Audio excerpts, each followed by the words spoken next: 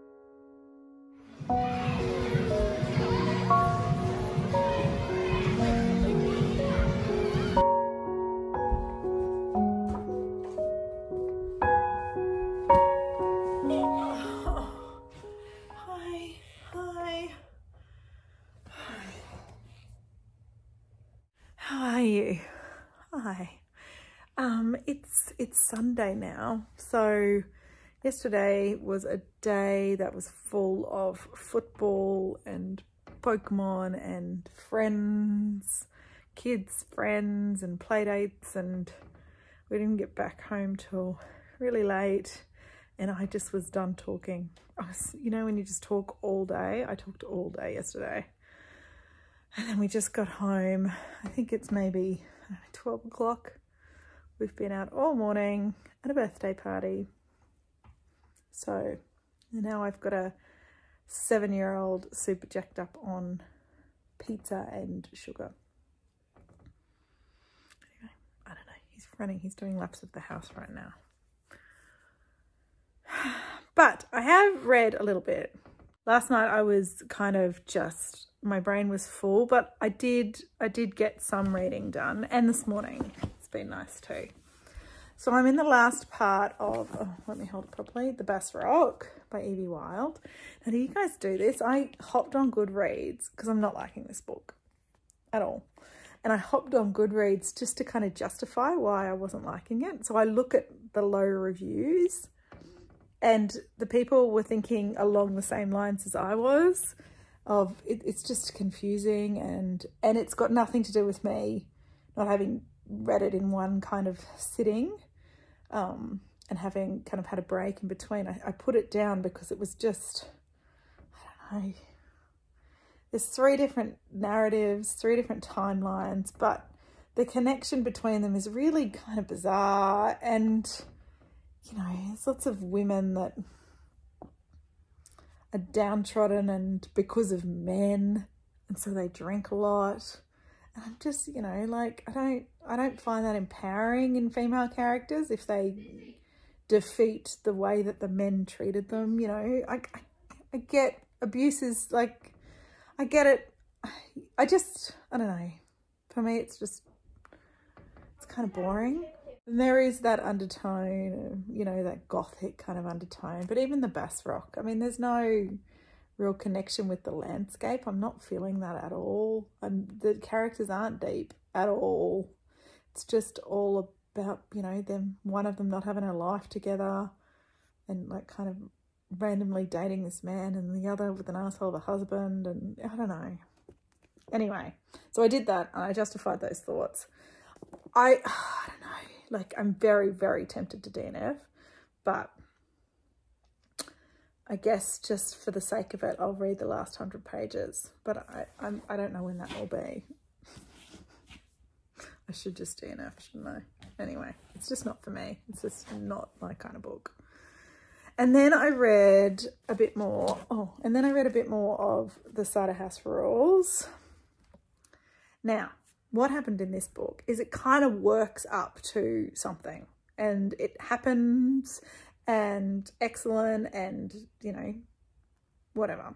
It, it was kind of predictable that it was going to happen um, for me so I was glad when it happened, but there was kind of an aftermath to the decisions that were made that I wanted to be involved in. And at the end of that chapter, it went, the next chapter is called 15 years and it skipped ahead 15 years.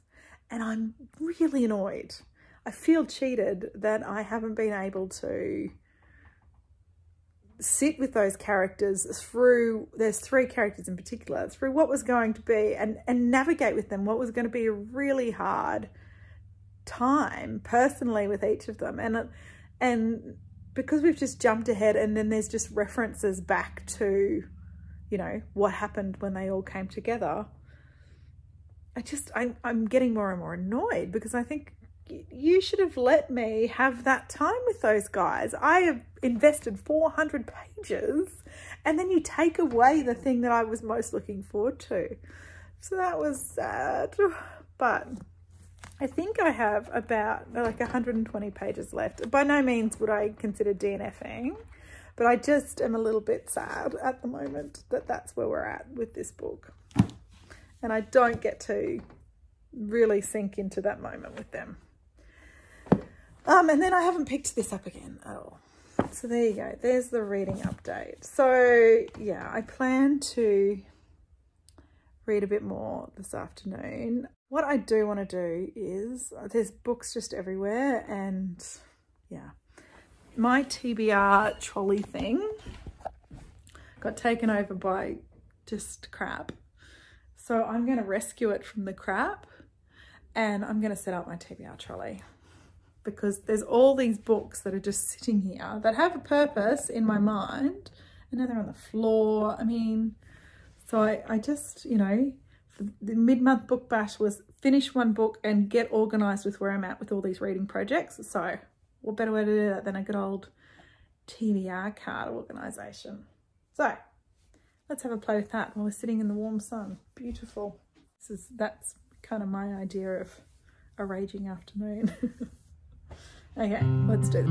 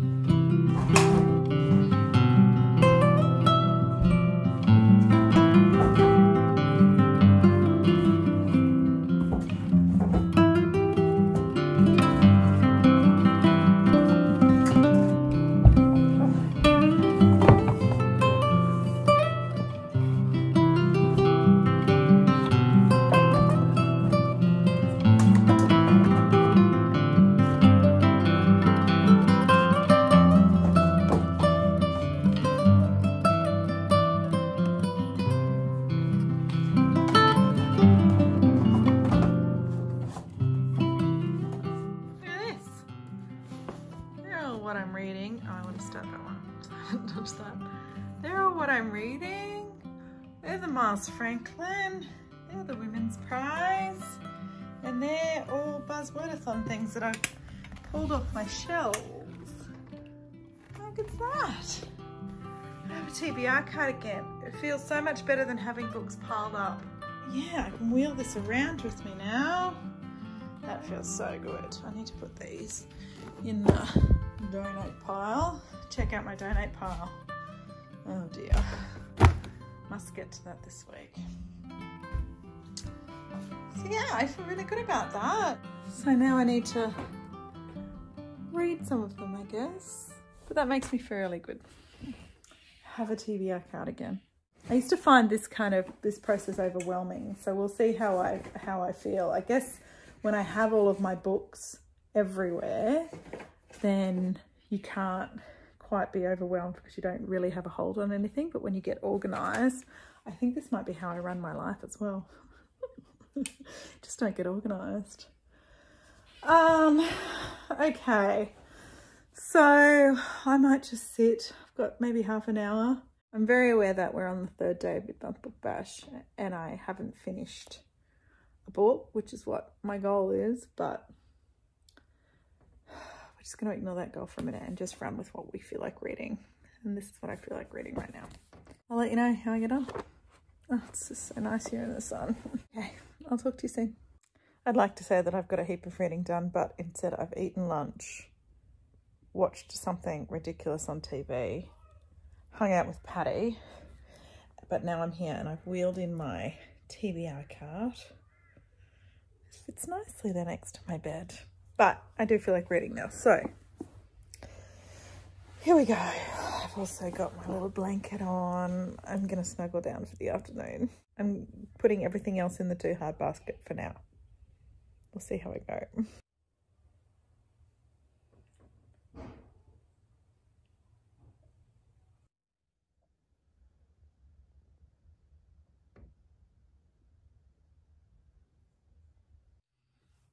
So I'm nearly halfway through this now.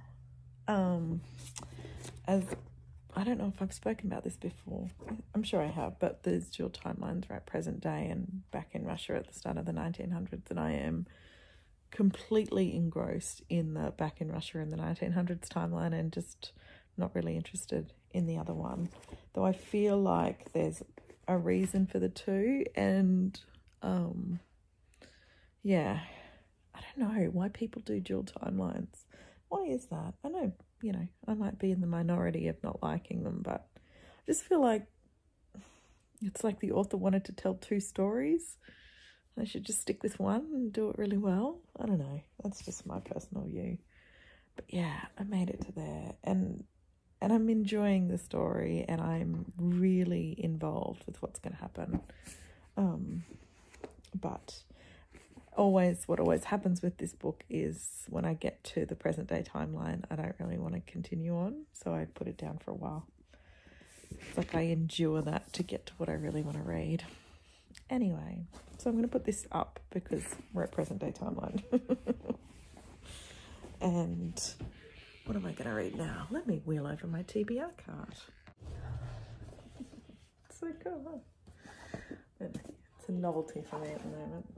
Okay, so I put that back in. Books I'm reading. I'm super duper tempted to pick this up. I haven't started it yet.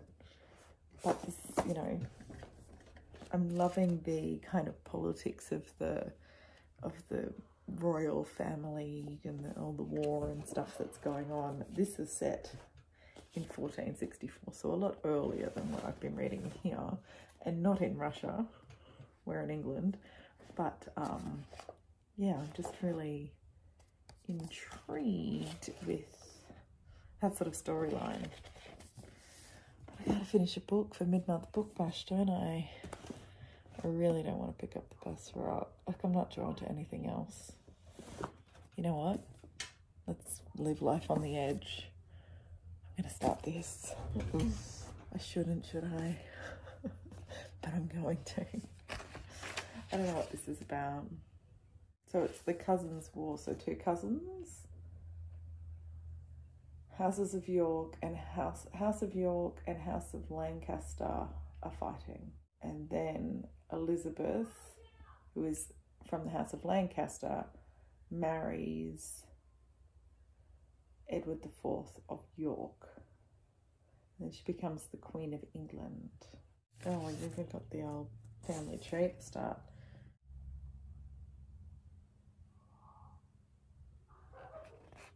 Okay, I'll let you know what I think after I read a little bit. Okay, I just went and put dinner on, but as predicted, I love it. I love it, I love it, I love it. And I am 14 pages in. So there was somebody, and I can't remember who it was, but they commented and said, pick this up, you'll really like it. And I'm, I'm hooked. Just the style of writing, just this historical fiction kind of it's it's my bag. It's my it's just it just suits me very well.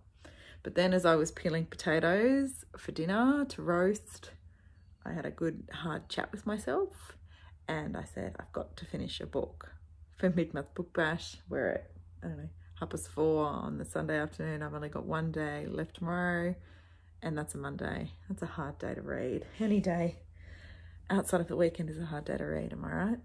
So this is my best chance. As disappointed as I am with what's going on, it is my best chance at finishing. So I'm on for page 433 now. I get to get to page 552. So I'm going to invest some time in the Cider House Rules for the afternoon and see where I go. At least if I read another 50 pages, we might get somewhere. Just so disappointed. there was another book like this. I read it with Heidi from My Reading Life. What was that book? It was really thick. I'll put a picture of it here. And we loved it and we got invested in it. And then it got to the end and it was just a really bad ending, a really rushed ending and we were both so disappointed. I just feel like that's happening again. And I just don't think it's fair after all this time. Either way, I am going to finish it. So I'll start doing that now. Sun's setting that way. Boys are outside, hopefully expending all of their energy and getting out all of their fighting outside so that when they come in, they'll be nice and peaceful and calm and just sit and play Lego. could only wish. Right, I'm going to read while I have the chat. So now we're getting to the time, as you can see by the light, where it gets cold in this room, which makes me super sad because I love sitting in here and reading. But um, I'm going to wheel my little TBR cart out there and put the heater on and snuggle down out there with those boys. Their fighting didn't stay outside, just so you know. I've been trying to sit in here and allow them to express themselves and work it out for themselves. But boy, it's hard to read when they do that. Okay, let's go. Oh.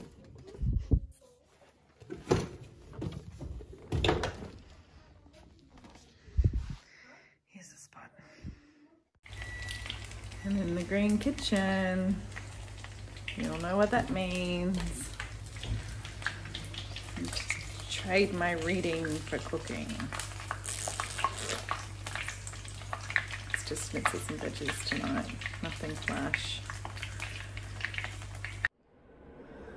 Okay, I'm back in the chair to read. I shouldn't have started The White Queen because that's all I want to read now and everything else is boring me, especially, you know, the end of a book that I'm just disappointed in. Sit down with this book for a while. Actually commit to a project. Actually commit to a project. Actually commit to something that I said I was going to do. Isn't that a novel idea? 6.30, I've got an hour until I have to put children to bed, so I'm gonna read until that happens. I'll let you know how I go. Shouldn't have started that book. I really shouldn't have started that book. Danger, danger, danger. I just had a shower and hopped into bed. It's just past seven o'clock at night.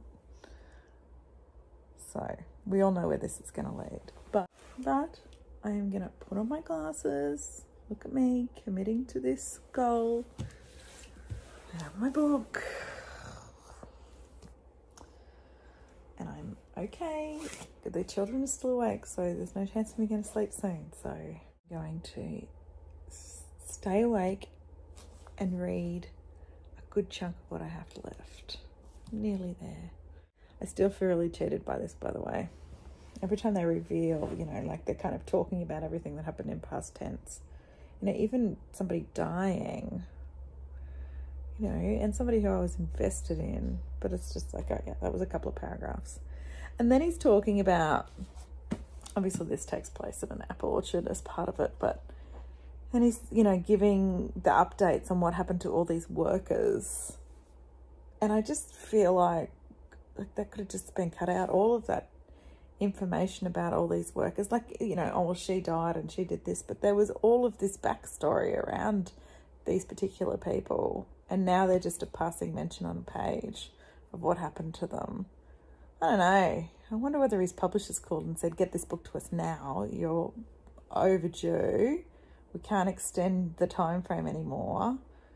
So we just had to wrap it all up. I don't know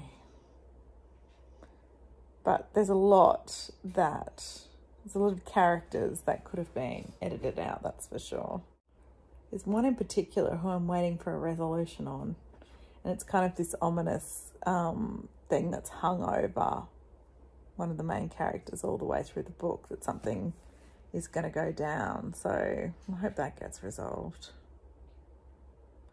anyway yeah i'm just super bummed i'm super bummed Okay. I'll keep reading. I'm not going to go to sleep, I promise. I need my hand to hold up the book. I got to the end of the second last chapter in this book, so I have 60 pages left to go. I'm going to call it a night. I'm going to watch some TV and fall asleep because I'm tired. So I think that I'll be able to finish this tomorrow and then I'll have achieved my goal. And then I can get on with reading books that I'm actually going to enjoy. We're going to bed. I'll see you guys tomorrow. Good night.